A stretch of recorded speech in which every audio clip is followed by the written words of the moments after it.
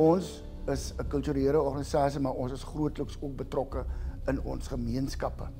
En daarom wil ons 'n beroep op u doen om u beskikbaar te stel vir 'n posisie op die skoolbeheerliggaam, maar ook om ouers aan te moedig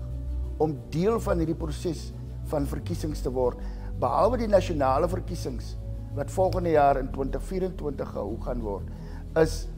die skoolbeheerliggaam verkiesing die tweede grootste verkiesing wat gaan plaasvind. En dit is belangrik ouers dat u in belang van die kind se toekoms deel word van hierdie proses. Deel word van die feit dat u